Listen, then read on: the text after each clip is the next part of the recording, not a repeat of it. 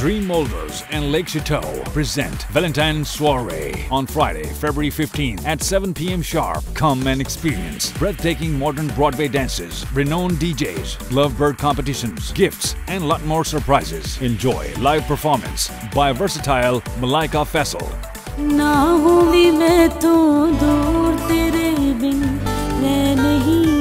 For tickets or more information, call 347 922 2006.